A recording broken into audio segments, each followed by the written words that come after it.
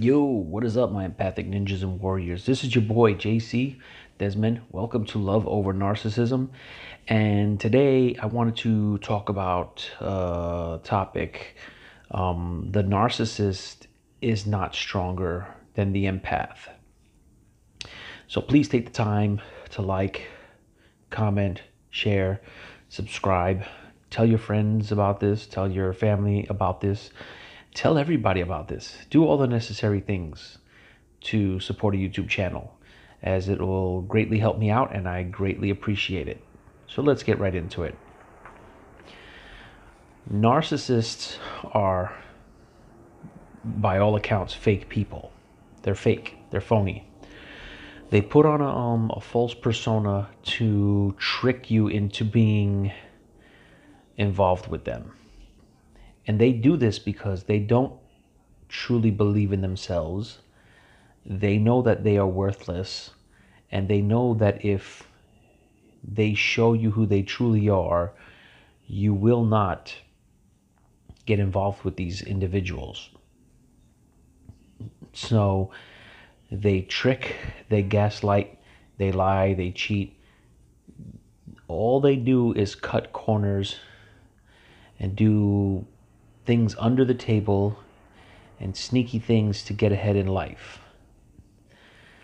They do this because they don't actually have the intestinal fortitude to get up and work on themselves. They don't have what it takes to get up and actually develop the discipline to try to make it ahead in life or to get anything they have to lie and get people to feel bad for them so that people can do things for them. Then, when they uh, get you involved with them in the beginning, they show you all this love and affection and everything. And then, you know, the mask starts to fall. As we all know the process the love bomb, the devaluation, the discard, their mask starts to fall when their mask starts to fall, they start to, you know, these people know full well that you can see what's going on with them. And they see that once you're hip to the games, they start to doubt themselves. They start to doubt the relationship. And so once that devaluation phase ends, they discard now, the reason why they discard, there's a couple of reasons. Um, because they were never truly strong enough to hold on to the relationship. Um, they are grooming another source of supply. And also, from the beginning, they knew that this was destined to end. They knew from the beginning they, that this was destined to to um, to be over. And they can't deal with the possible rejection. They can't deal with you seeing them for what they are and leaving them. That's the reason why they would rather leave you first. This will give them the kind of a, a boost of power that says, well, I was strong enough to leave. And my ex used to say this. She goes, you know, I'm strong enough to leave a relationship that doesn't uh, benefit me. And then they will go on the smear campaign and everything. And the reason why they do all of this, all of this, is because they're scared. Okay? They are not stronger than you are. The reason why the cycle of abuse keeps going on forever, forever is because they are too scared to change. Why are they too scared to change? Because they are afraid of looking at themselves and realizing that they are not the perfect person that they are trying to convince themselves that they are.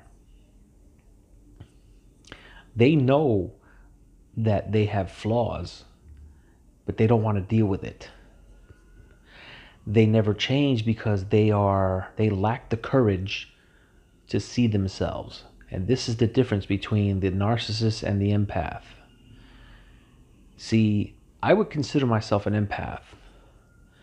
And once my ex and I have split up, and uh, once she discarded me, I went no contact. I went limited contact because I didn't quite understand what was going on, even though I started studying up on narcissism. And I started uh, going no contact because I kind of wanted to vent the emotions out of my system and move on. But I still thought that, you know, she, I still thought that she was a normal, sane person, that she just had some issues. But I, I kind of knew what was going on. And the final the the week that my everything made sense was this the week that a bunch of people started hitting me up. And, I, and i'm talking about like over 20 people who knew of who knows of my ex and knew of her past and what she has done have hit me up to, to give me detailed stories about what she has done to people. And then finally my uh, a good friend of mine shout out to andy and uh, called me up and basically said to me, Do not allow this person to get to you. And I said, Well, what do you mean? And he said, Brother, you're on a long list. This person is abusive. She's done the exact same thing to you that she did to everybody else. She got engaged to other men and she cut them off. She has used many men. She has slept around. She has cheated. And she has lied.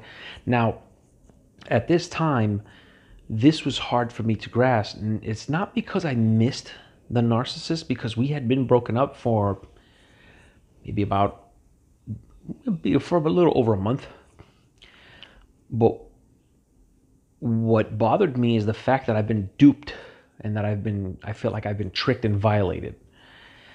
And so for the next few weeks I had to deal with these thoughts and I had to deal with trying to come to grips with the fact that the person I was dealing with was uh, basically a fraud, a total fraud. And the more and more I spoke with my friend, and the more and more I spoke with people who were, you know, who were my support system. Shout out to Crystal, uh, shout out to Andy, um, shout out to Madi, shout out to um, Rosa. um, I'm giving you guys a shout out. These are my friends. Shout out to uh, other people who who have heard me. You know, like I, I, I had to get this out of my system and the more and more i was talking to people the more i started coming to grips with what was going on and i said wow you know and and i accepted it and i realized that the person i dealt with was a total fake and a fraud that the person had really nothing going for for her she had nothing going for her life um, she broke down at every sign of of stress. She was unhappy, you know. And then I started putting things together like, wow, I've been dealing with a person who is weak. And even though I felt down, I started noticing that a lot of the cognitive dissonance a lot of the um the anger and a lot of the you know and I've and I've I, I was dealing with anger for a while. I mean, like you, God only knows the the kind of revenge I wanted on this person for tricking me, and not because I missed her, because I totally did not miss her. I didn't even want her back in my life. I, I actually thought she was a disgusting human being, but I noticed that all these feelings started changing, and I started empowering myself, and that's the reason why I created this channel and so that I can help you guys empower yourselves. And this is where my strength started coming out. The power that I have to see what was done wrong to me and try to flip it into something positive so that I can try to help other people and pay it forward for what my friends and family have done to help me in this time. So while I'm doing this, the narcissist is going back to her old ways. And she's back on social media playing the victim role. And she's probably manipulating some other poor guy who I absolutely feel terrible for because whoever new person is ensnared with this beast, they're going to be in for it because these people know no other way. They continue to do this because they don't know any other way. And what I want you folks to realize is that you are so much more powerful than these low bottom feeding creatures. You are much stronger than them because you can get better, you can move forward, you can learn, you can change, and they cannot. But they will always try to portray that they are strong, okay? They will always try to portray that they are stronger than you, that they are smarter than you, they are better than you, that they have moved on from you. These people never move on. I mean, they move on in fact that they'll they'll go into another, um, you know, relationship or they'll find another source of supply, but they never stop thinking about the supply that left. They'll never stop thinking about the supply that rejected them. While you will come to grips with the relationship and how it ended, you will come to grips with this. And if you put in the work, you have the ability to change, grow, become more powerful. You are way stronger than your narcissist. You are way more powerful than they are. They are weak. If you are an empath, by default, you are more powerful than these cookie cutter human beings. So, what I want you to realize the differences, right? Narcissists can't take ridicule. It puts them into a, a, a, a state of narcissistic injury. They can't take rejection. They can't take being ignored. Um, if you if you criticize them, it hurts them. So, but these people are terribly hurt by the smallest things. That's the difference between them and us. They'll portray an image like they're strong, but they're really not. They're very fragile. Their egos are fragile. They are five year olds. And all they're really doing is, is getting a tantrum whenever they get hurt. You know, they might try to seek revenge or do something to try to get. Everything they do shows their weakness. So if you leave a relationship and you move forward and say you go out on a date, and if your ex narc spots you, and let's say you're on a date and you decide to get, oh, let me use the bathroom for a second, your ex narc will go up to your current date and try to smear your name. That's weakness. Like if a person is so butthurt and can't get over the fact that you left them, that they have to sabotage what you're doing next, that shows weakness. You have the ability to move on and get over it, and you will. That's your power. I've said this before. I'm just focusing more on it on this video that you have that power. They don't have it. They're weak. They're not stronger than you. You can take criticism. You can take a little bit of teasing. You know, I'm pretty sure, you know, a lot of my empathic friends are sarcastic as hell. That they can joke on each other. I grew up with friends that are all super empathic, but are all incredibly sarcastic and roast the hell out of me all the time. And you know what? It's fun and it's funny. It's a great time. Um, if I do something wrong, I can come to gri- I can come to grips with that. People will tell me, "Hey, man, you messed up," but I can say, "You know what? As a man, I I uh, I admit to it. I messed up." And more than anything, you can change. We all can change if we really want to. And I'm talking about empaths because narcissists will never be able to do that. And they know this. They know this and they hate you for it. Hatred is a sign of weakness. Jealousy is a sign of weakness. You know? All these things that the narcissists possess, it's all based on their weakness. They are not all powerful, they are not strong. They are incredibly weak and very fragile human beings. And they hate you because you are stronger than they are. Understand your strength recognize it, flaunt your strength, show them that they aren't worth anything to you. Show them that they are unworthy of your presence. Show them that no matter what they have done to you, you will move on. You will forget about them. And you will live a much better, exciting, and loving and uh, a fulfilling life than when you were with them. Let them have it. When you are on social media, be happy on social media. Fake it till you make it if you have to, but do your best to make it.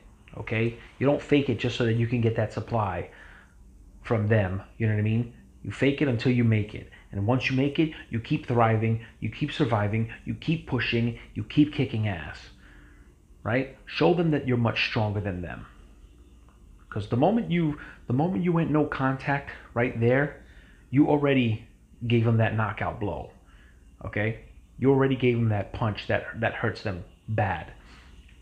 Now show them that the post discard and the post narcissistic era is going to be even better than ever.